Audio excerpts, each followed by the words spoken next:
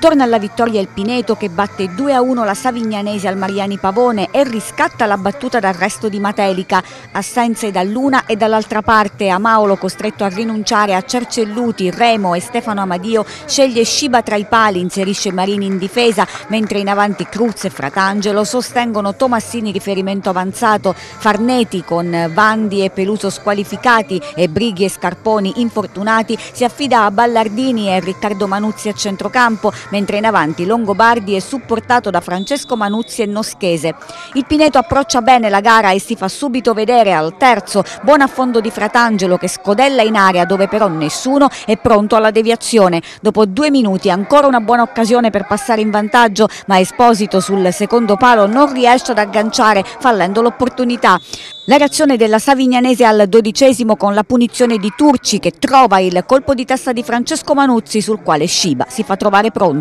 Al diciottesimo ancora ospiti in avanti che si fanno pericolosi con un velenoso cross di Turci che attraversa tutta l'area sul proseguo dell'azione. Ballardini tenta la rovesciata e resta a terra. Al ventitreesimo il centrocampista è costretto a lasciare il terreno di gioco. Al suo posto entra Guidi.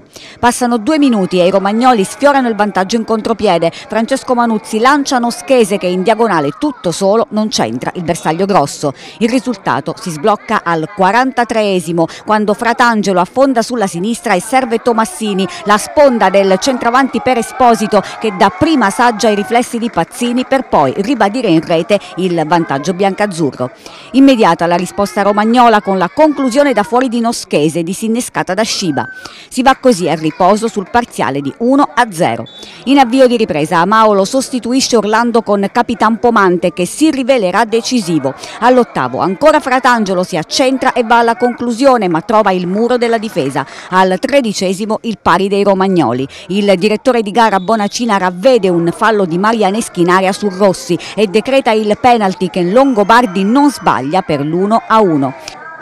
Passano tre minuti e il Pineto protesta quando Camplone va alla conclusione sulla quale Rossi si frappone col corpo. Vorrebbero il fallo di mano i biancazzurri ma non è dello stesso avviso il direttore di gara. Ancora Pineto al diciassettesimo con Fratangelo che tenta la girata ma nell'occasione chiede il cambio e viene sostituito da Di Rocco. Break della Savignanese alla mezz'ora con Turci che impegna Sciba, ancora proteste biancazzurre due minuti più tardi quando Esposito entra in area e viene toccato sul piede d'appoggio da Succi, ma l'arbitro ben appostato facendo di proseguire.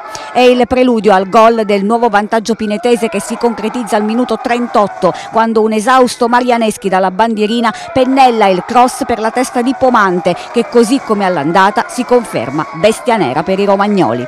Nel finale ancora Marianeschi lancia di Rocco che apre per massa all'esterno da posizione defilata costringe Succi al salvataggio sulla linea.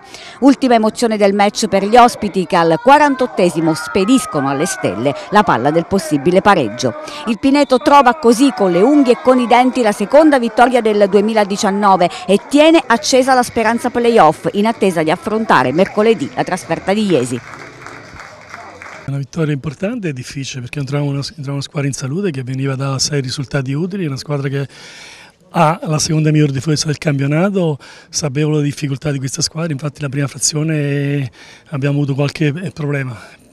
E nonostante eh, fossimo passati in vantaggio abbiamo subito il pareggio, avete visto tutti come è avvenuto, in quel momento la squadra ha avuto un grande carattere, una grande reazione Considerato che per noi era la terza partita in una settimana, quindi c'erano problemi anche di freschezza fisica e mentale, dopo magari la sconfitta immeritata magari di mercoledì a Matera, quindi voleva una grande prova di carattere, quindi posso far tanto un elogio ai ragazzi che hanno portato via tre punti in modo meritato, lottando su ogni pallone come piace a me, quindi una squadra che ha giocato anche con il cuore e ha portato a casa una vittoria importantissima in questo momento del campionato in questa fase dove ci troviamo a affrontare partite ravvicinate nel giro di due o tre giorni, quindi le vittorie ti aiutano un po' a lavorare meglio e preparare eh, con magari più accuratezza anche le prossime sfide. Non è il momento di guardare la classifica, adesso noi dobbiamo giocare di partita in partita e recuperare tutti gli effettivi.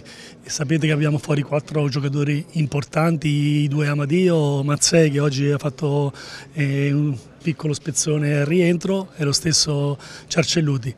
E noi dobbiamo tenere diciamo, botta in questo momento, cercare di fare più punti possibile e sperando ecco, di recuperare questi giocatori che per noi sono giocatori importanti nel nostro organico e poi più avanti vediamo dove, dove siamo e quello, gli obiettivi che ci possiamo dare. A tal proposito si è fatto male anche Fratangelo in corso d'opera, eh, come sta mister? Che problema ha? Ma ha avuto soltanto un problema di crampi, quindi non è un problema muscolare e lo stesso Orlando forse era un po' affaticato, ha dovuto sostituire alla fine del primo tempo.